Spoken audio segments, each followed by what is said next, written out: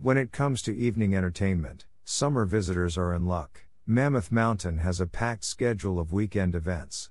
There's live acoustic music in the village every Friday and Saturday night, though most weekends have other festivals on top of that.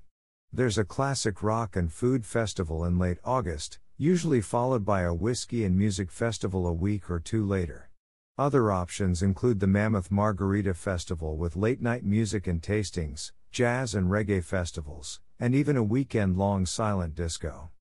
If you'd prefer something a bit less crowded, treat yourself to dinner at one of Mammoth Lakes' fine dining options.